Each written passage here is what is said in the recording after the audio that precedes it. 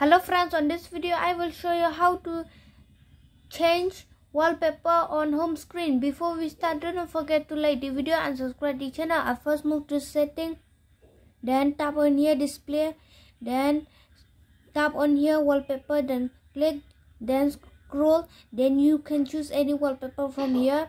Just click on it. Then if you want to select just i mean set just click here then you can change your wallpaper here. Just click on here. Home screen it will be changed. If you love the video do not forget to like the video and subscribe to the channel. And thanks for watching